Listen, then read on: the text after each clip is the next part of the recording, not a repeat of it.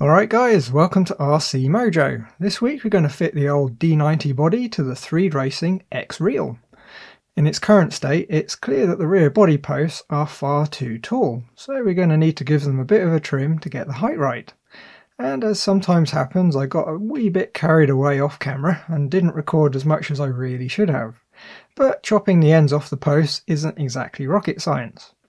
Next we glue the metal cups that the magnets on the top of the post stick to. Getting them in position is fairly easy. I popped the cups on the magnets, applied the glue and lowered the chassis into the upturned body. Left it overnight and job's a good un. For glue, I used some good quality 60 minute epoxy, so I had plenty of time to adjust things. And I mixed in some micro balloons to turn the fairly thin epoxy into more of a paste, making it much easier to handle. You can just about see that the glue around the front cups has a bit of an odd shape. That's because the bonnet isn't flat and the cups were half sat on a bit of a shelf. To make sure the glue filled the void, I used a bit of Blu Tack to make a dam. Once the glue had hardened, the cup was fully supported. The body now drops on the chassis fairly easily. The front magnets find their position instantly, but the rear ones have a tendency to stick to the edge of the cups rather than drop into the centre. Because the rear posts are so long, they're also quite flexible. You can, however, reach up and pull them into position, but it's not ideal. The next little problem, you can see that the body's sitting fairly low on the chassis. With the added weight of the battery, it only gets worse. I didn't record it, but if there's any more sag in the suspension, the front wheels catch on the body very badly. We could adjust the preload of the dampers to raise it up a bit, but that's going to stiffen the suspension and it won't actually cure the problem. Under heavy load, the tyres will still rub. So, 3D printer to the rescue, I've made a little body lift kit, or at least part of it. I've made up some spacers that go up under the magnets to raise the body height. I found 5mm should do the trick, giving a couple of millimeters clearance around the tyres at full compression and steering. The fun thing with using a 3D printer is you can really easily make spacers of more or less any size without ending up with stacks of rods and tubes that end up hanging around in stock for years. Now because we're putting the spacers under the magnets, the stock screws are going to come up quite a bit short. I didn't have any on hand that were just the right length, so I grabbed a couple of countersunk screws that were far too long and cut the ends off. They don't have threads all the way to the head, but luckily the unthreaded part is just about covered by the magnet and the spacer. With one of the spacers fitted, you can see the height difference. It's not a vast amount, but it's enough to allow the suspension and steering to work without colliding with anything. The rears were a little bit different in that rather than putting the spacers under the magnets, I fitted them under the posts. That means rather than needing a long countersunk screw, they need a longer grub screw. So I just cut some M3 studding to length as I had some handy. Also, the spacers I ended up with are quite a bit bigger than the front ones. It wasn't intentional though.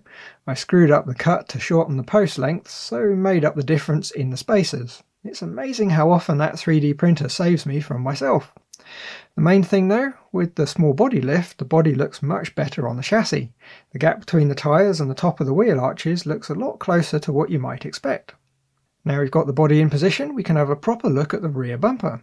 The one that comes with the kit does look pretty good, but it's a very flexible plastic, so it's purely a visual add-on.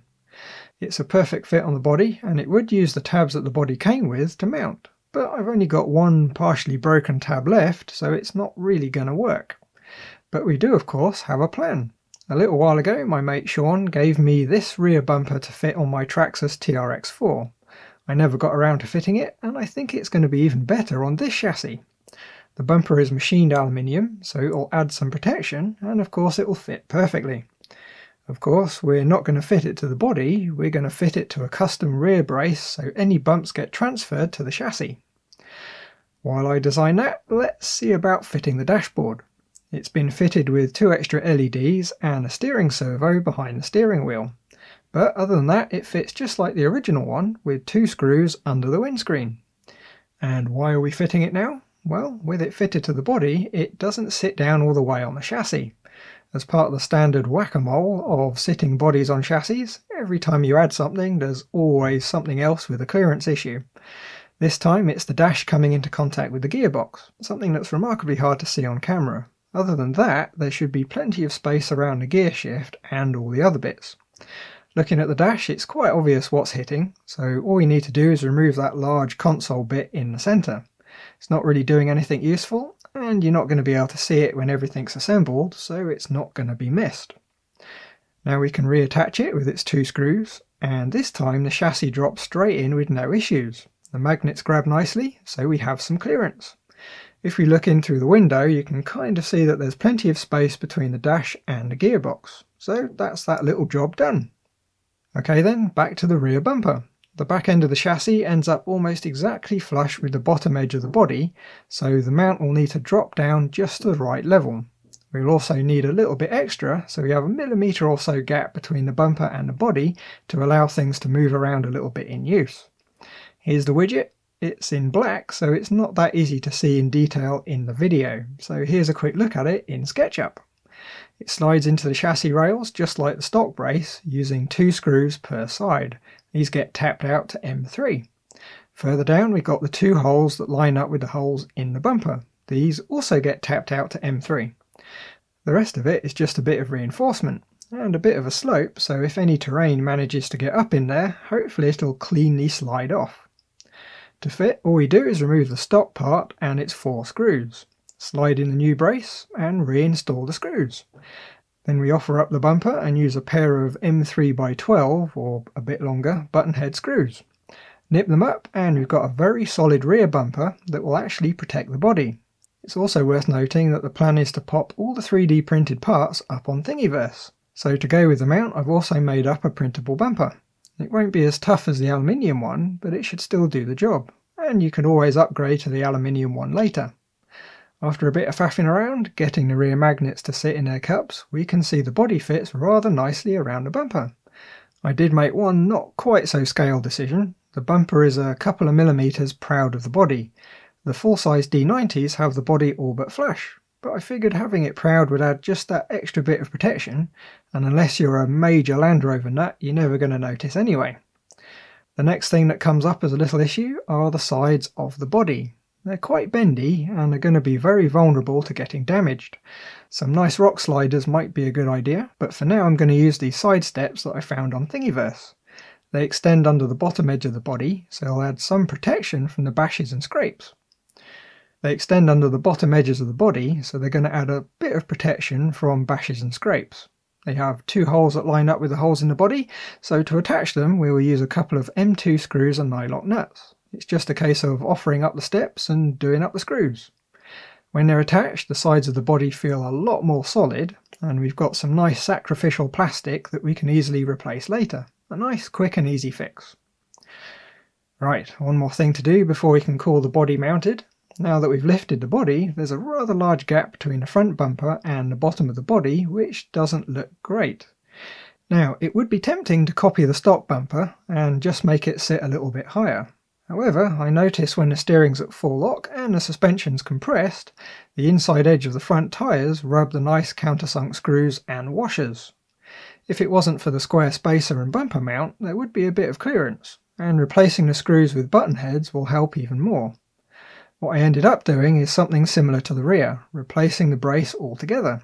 As well as gaining clearance for the tyres, it will also be quite a bit more solid. All we do is remove the stock brace and bumper, slide in the new brace, and install four M3x6 button heads. Looking at it in SketchUp, you can see the bumper mounts are a bit under the centre of the chassis. This allows around 2mm of clearance between the bumper and the body. Just as with the rear end, all the holes were tapped to M3. This time I don't have a fancy aluminium front bumper, so I went through a few 3D printed designs. The first one I tried was to make it look like the 3 Racing one, with the large curved ends. Now it fits okay, but with any steering input the tyres collide, so that's not going to work. The second attempt I made the ends a lot smaller, which is probably a bit more scale. This time in grey, because I ran out of the black plastic. This one's the same width as the stock bumper, but it still didn't quite look right. The third revision I made it a bit narrower, but otherwise it's the same. This time it fits almost perfectly. The steering can go lock to lock without any catching. There's a bit of clearance between the bumper and the body to account for things flexing and moving around, so I think that's going to do nicely. We just need to give it a nice coat of black paint to bring it all together. And there we go. It would still be good to print a black bumper as the paint's probably going to rub off, but I think it looks the part. Scale enough to pass, but also works on the model. Well, that's the body mounted, so that's it for this week. The receivers arrived in the post, so next week we'll fit the rest of the electronics on a nice custom mount so we can keep all the wires nice and short. So, as always, thanks for watching. Like if you liked, subscribe if you haven't, and leave a comment if there's something on your mind. Bye guys!